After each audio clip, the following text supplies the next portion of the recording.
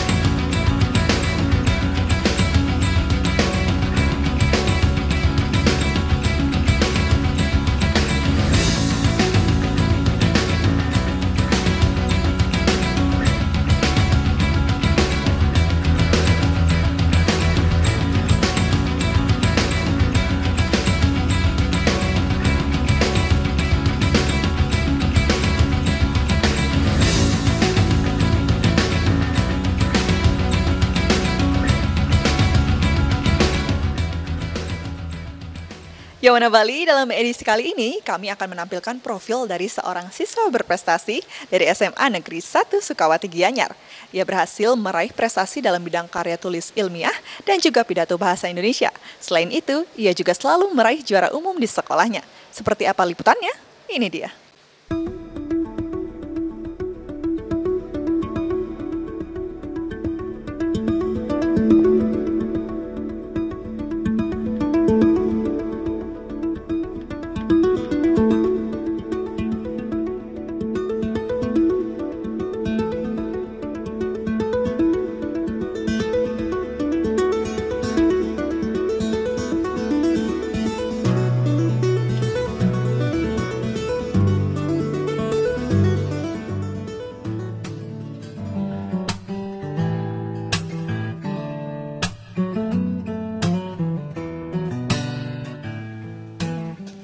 Sobat Yowana, dalam edisi kali ini kami akan menampilkan profil Ayu Cahya Dewi, seorang Yowana berprestasi dari SMA Negeri 1 Sukawati Gianyar. Darah cantik bertubuh mungil ini sudah duduk di kelas 12 dan sebentar lagi akan menyelesaikan pendidikannya di bangku SMA. Di sekolahnya, Ayu Cahya dikenal sebagai siswa yang cerdas karena sering menjadi juara umum, khususnya di jurusan IPA.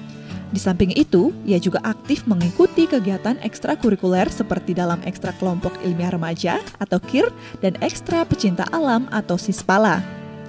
Berkat keaktifannya dalam ekstra KIR bersama sejumlah rekannya, ia sering dipercaya mewakili sekolah dalam berbagai lomba. Hasilnya, ia berhasil menyumbangkan sejumlah piala bagi sekolah tercinta.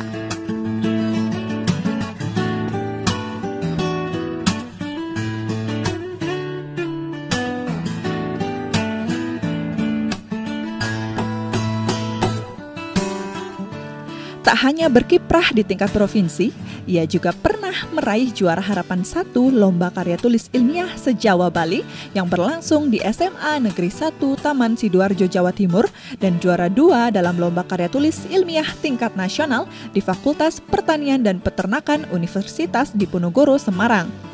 Di samping berprestasi dalam bidang lomba karya tulis ilmiah, Ayu Cahya ternyata juga memiliki bakat dalam bidang pidato. Di sekolahnya, ia meraih juara satu lomba pidato dalam rangka jeda sekolah tiga kali berturut-turut mulai tahun 2014 hingga tahun 2016. Ia juga pernah meraih juara tiga dalam lomba pidato serangkaian gelar apresiasi pemuda Bali tingkat Provinsi Bali 2015. Kembali perkenalkan nama saya Ayu Cahya Dewi. Sekarang saya duduk di kelas 12 IPA 1. sebentar lagi saya akan uh, tamat dari SMA Negeri 1 Sukawati dan adapun prestasi yang saya raih selama di SMA Negeri 1 Sukawati yakni yang pertama, saya merupakan juara umum dua bidang IPA dari kelas 10, 11 dan kelas 12. Selanjutnya itu saya merupakan juara satu lomba pidato bahasa Indonesia dalam jeda SMA Negeri 1 Sukawati dari tahun 2014, 2015 dan 2016 dan prestasi ini mengantarkan saya untuk mengikuti untuk mengikuti juara pidato di lomba KNPI Bali di Provinsi Bali dan mendapatkan juara tiga di lomba pidato KNPI Bali dalam gelar apresiasi pemuda Bali. Selanjutnya saya juga menjuarai lomba karya tulis ilmiah yakni di Universitas Mahasaraswati Denpasar sebagai juara dua pada tahun 2014 dan pada tahun 2015 saya berhasil meraih juara satu dalam lomba karya tulis ilmiah di Fakultas Teknologi Pertanian Universitas Udayana. Tahun 2016 saya meraih juara harapan 2 pada lomba karya tulis ilmiah di SMA Negeri 1 Taman Sidoarjo. Selanjutnya yang terakhir yaitu saya meraih juara dua dalam lomba karya tulis ilmiah remaja di Fakultas Pertanian Universitas Diponegoro pada tingkat nasional pada tahun 2016. Saya mengikuti lomba-lomba yaitu sejak kelas 1 SMA yaitu yang diawali dengan lomba-lomba di dalam lingkungan sekolah yaitu lomba pidato dan sebagainya. Dari lomba di lingkungan sekolah itu saya mulai menempuh lomba yaitu berada di luar sekolah yakni mulai dari tingkat kabupaten, tingkat provinsi dan juga tingkat nasional. Adapun lomba yang sangat berkesan bagi saya itu pada saat lomba di SMA Taman dan juga pada saat lomba di Universitas Diponegoro. Mengapa? Karena pada saat lomba di SMA 1 Taman di sana saya mendapatkan sangat banyak pengalaman walaupun saya hanya menduduki juara harapan 2. Namun dari SMA Negeri 1 Taman itu saya mendapatkan banyak-banyak pengalaman dan sangat banyak mendapatkan uh, pelajaran-pelajaran dari peserta-peserta yang juga menjuarai. Selain itu, saya juga menjuarai di lomba karya tulis ilmiah di Universitas Diponegoro di mana pada saat itu saya mendapatkan banyak pengalaman pula yakni mendapatkan teman dari luar Pulau Bali dan juga mendapatkan prestasi-prestasi atau pelajaran-pelajaran dari beliau semua prestasi yang paling banyak yang saya dapat yaitu pada lomba karya tulis ilmiah karena di sini saya juga lebih menekunkan atau lebih menekuni pada bidang lomba karya tulis ilmiah. Selain lomba karya tulis ilmiah, saya juga menekuni bidang pidato, namun saya tidak terlalu aktif uh, pada lomba pidato itu sendiri. Dalam lomba LKTI kami mengangkat banyak topik dari mulai sosial, lingkungan maupun sosiologi ataupun sebagainya. Namun pada uh, diri saya saya lebih lebih senang untuk mengangkat di bidang lingkungan. Kenapa? Karena kami lebih banyak dapat e, mendapatkan permasalahan yang dapat dipecahkan di bidang lingkungan itu sendiri. Kendala pada lomba itu biasanya pada segi waktu. Karena pertama saya juga sebagai siswa SMA Negeri 1 Sukawati yang harus memiliki kewajiban untuk e, bersekolah dan juga belajar seperti murid biasanya dan di samping itu saya mempunyai kewajiban untuk melakukan lomba. Untuk persiapannya lomba itu kami melakukan satu atau hamin satu bulan sebelumnya yaitu yang diawali dengan observasi Selain itu juga kami melakukan konseling uh, kepada pembina KIR yang ada empat orang. Setelah itu kami melakukan rembuk antara satu tim karena di LKTI terdiri dari satu tim yaitu tiga orang. Di sana kami melakukan setiap pulang sekolah kami melakukan kumpul yaitu mendiskusikan tentang lomba yang kami angkat. Kira-kira hamin satu bulan kami mempersiapkannya kalau kiat khusus dalam belajar itu sebenarnya tergantung dari diri orang sendiri-sendiri. Kalau saya lebih suka yang belajar itu dengan cara mendengarkan langsung bukan dengan membaca buku. Kalau saya dengan membaca buku akan tidak masuk kotak, tapi ketika seseorang yang mengajarkan saya secara langsung maka saya akan lebih dapat cepat untuk menangkap ilmu itu. Lomba pidato bahasa Indonesia itu sebenarnya saya iseng-iseng awalnya pertamanya itu diawali dengan di sekolah. Di sekolah setiap jeda itu ada namanya lomba pidato bahasa Indonesia. Di sana saya diwakilkan oleh kelas untuk dipercaya untuk mengikuti lomba pidato dan ternyata berhasil meraih juara satu. Dari lomba tersebut maka guru bahasa Indonesia mewakilkan kita untuk berlaga di tingkat provinsi.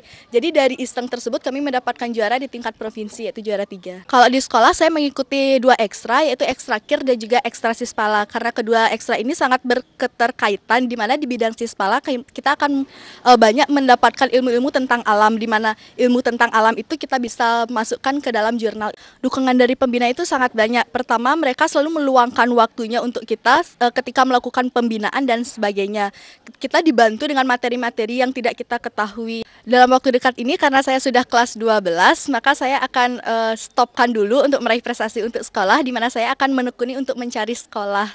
Untuk rencana sekolah saya uh, daftarnya di Fakultas Kedokteran Universitas Sudayana. Baik untuk Yohana Bali di rumah, uh, pesan saya sebagai siswa yaitu jangan gunakan uh, masa muda kalian untuk bersenang-senang yang berhura-hura. Tapi Tapi gunakan masa muda kalian untuk meraih prestasi karena saat kalian muda lah kalian memiliki tenaga yang lebih untuk meraih prestasi. Nama saya Tresna Damayanti. Kebetulan di sini saya adik kelasnya Kayu Caya. Saya kelas 11 dan Kayu, Kayu Caya kelas 12. Uh, menurut saya uh, Kayu Caya itu kebetulan juga saya ikut KIR dengan Kayu Cahaya. Uh, menurut saya keseharian Kayu Cahaya itu aktif. Uh, uh, beliau kelas 12 IPA 1. Kesehariannya aktif juga banyak mengikuti lomba lomba kir di nasional juga um, saya, yang saya ketahui banyak memperoleh juara juara satu juara dua dan juara tiga. KUCH sendiri itu sangat uh, terbuka anaknya dapat uh, bisa membagi ilmu ke semua ke adiknya juga. Itu ya uh, dia lebih ramah ke adik kelas lebih gimana ya lebih dekat. Menurut saya sih gitu di antara kakak kelas itu Kak Ayu Cahaya menurut saya paling dekat dengan adik-adik kelas lain. Juga pengen mengikuti jejak Kak Ayu dengan bisa mengikuti lomba kir di luar di di, di luar Bali ya khususnya tingkat nasional harapannya Kak Ayu itu bisa lebih sukses ke depannya di perguruan tinggi juga dan juga cita-citanya bisa tercapai Uh, baik, perkenalkan nama saya Putu Anik Mentayani, kelas 11 IPA 2. Uh, Kak Ayu Kak Ayu Cahaya adalah senior di KIR. Kak Ayu kelas 11, uh, 12 IPA 2. Dia yang sangat ramah, mau berbagi ilmu dengan adik kelasnya dan sangat uh, gini sangat mendukung sangat motivasi adik-adik kelasnya yang dikir untuk maju seperti dia kalau dibilang pingin sangat pingin ya karena di uh, ke Ayu udah uh, lolos nasional udah bisa lomba di universitas uh, kayak universitas uh, di Ponorogo dan yang lain-lainnya uh, semua orang pasti pingin kayak ke Ayu di mana berprestasi bisa uh, mendapat piagam-piagam, dapat piala apalagi piala nasional dan piagam nasional seperti itu. Pesan buat Kak Ayu di sini sebagai adik kelas uh, Kak Ayu, Asungkara, Kak Ayu bisa dapat universitas yang diinginkan dan dapat fakultas eh, fakultas yang diinginkan dan dapat uh, dan menjadi mahasiswa terbaik. Sering mengikuti berbagai lomba di luar sekolah memberikan pengalaman yang berkesan bagi Ayu Cahya. Ia bisa bertemu dengan teman-teman yang berasal dari beda pulau dan dapat berbagi informasi mengenai prestasi masing-masing. Kesibukannya dalam belajar, mengikuti lomba, dan mengikuti kegiatan ekstrakurikuler membuat Ayu Cahya harus cermat membagi waktu. Ia selalu membuat skala prioritas, mendahulukan kegiatan mana yang lebih penting untuk dikerjakan sebelum mengerjakan pekerjaan lainnya. Kiat lainnya, ia juga tidak cepat puas dengan prestasi yang telah diraih, sehingga terus terpacu untuk meraih prestasi di jenjang yang lebih tinggi.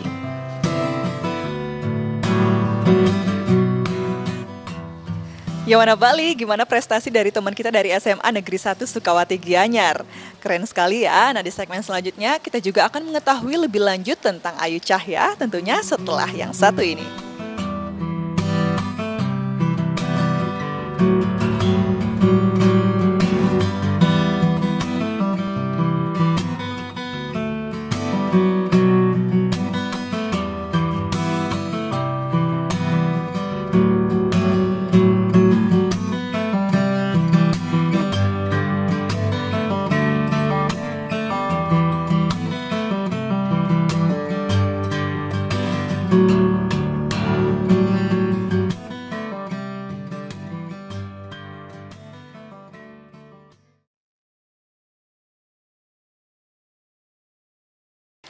Yowana Bali, Ayu Cahya memang dikenal sebagai siswa yang cerdas dan juga aktif di sekolahnya.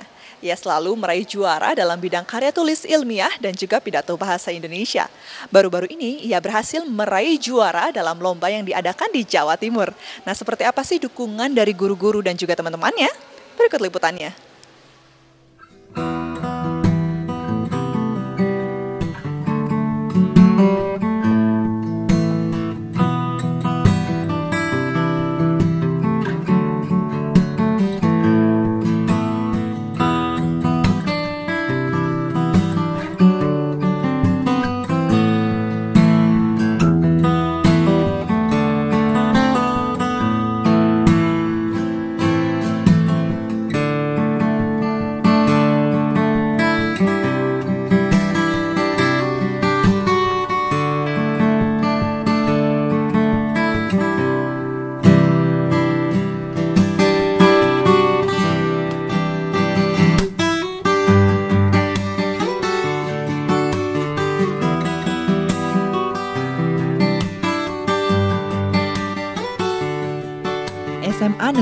1 Sukawati merupakan salah satu sekolah favorit yang ada di Kabupaten Gianyar.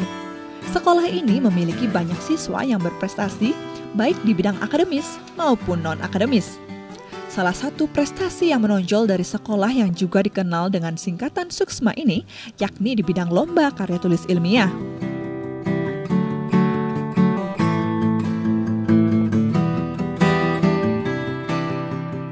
Tahun ini, anak-anak Suksma kembali menorehkan prestasi gemilang. Tim Kir Suksma yang diwakili Ayu Cahya, Gung Ayu dan Anggun berhasil meraih juara dua dalam lomba LKTI yang berlangsung di Undip Semarang. Dalam lomba di Undip, mereka membuat karya tulis yang mengangkat tentang sistem pertanian terintegrasi atau Simantri, yang penelitiannya dilaksanakan di Desa Kemenuh Gianyar.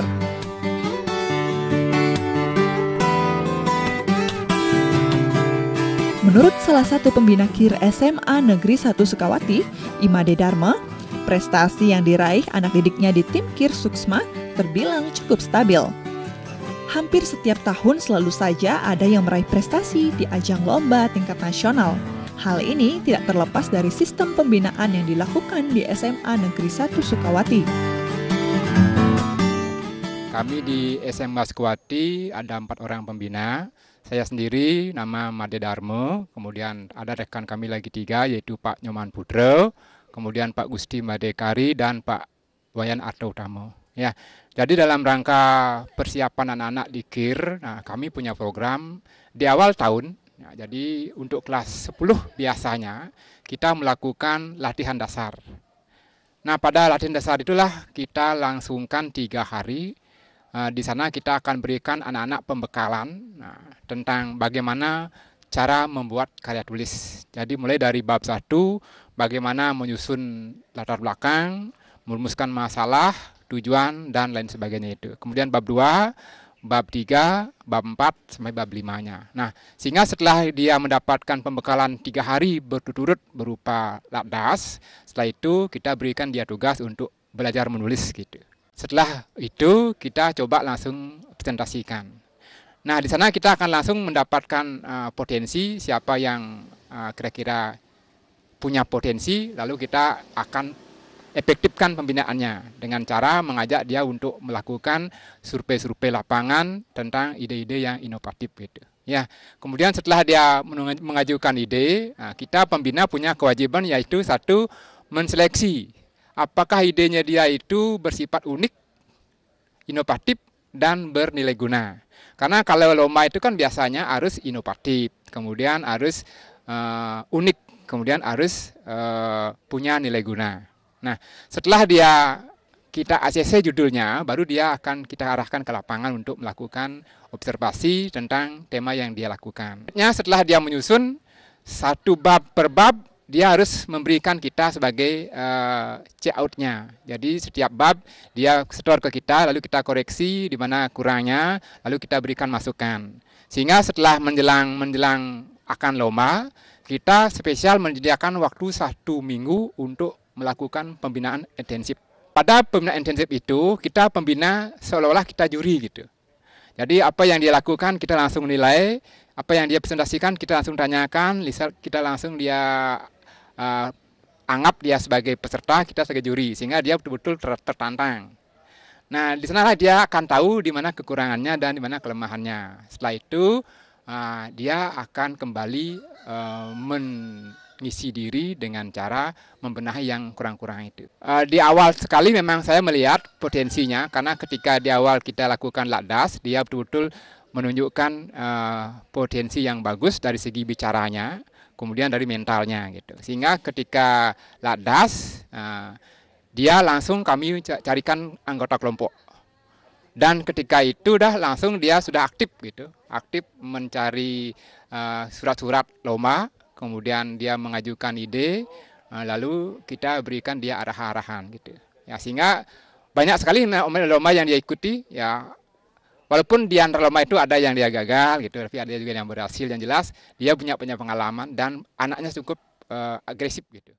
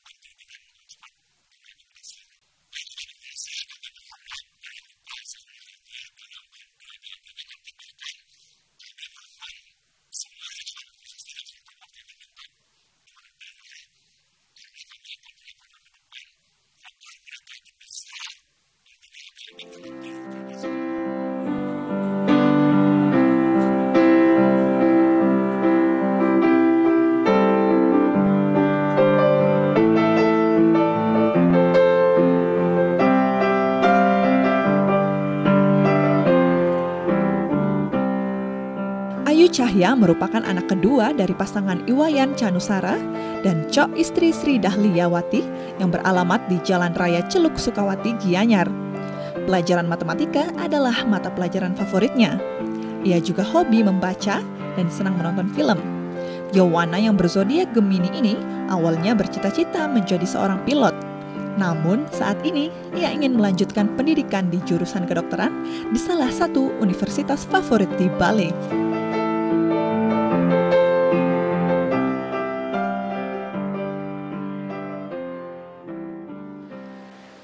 Yowana Bali tidak terasa 30 menit sudah kami menemani Anda dan jangan lupa untuk menyaksikan Yowana Max minggu depan karena kami akan menyajikan informasi menarik lainnya. Akhir kata, saya Aura Gizela dan seluruh kru yang bertugas pamit undur diri dari hadapan Anda. Ingat selalu, kembangkan kreativitas dan jauhi narkoba. Om Santi, Santi, Santi Om.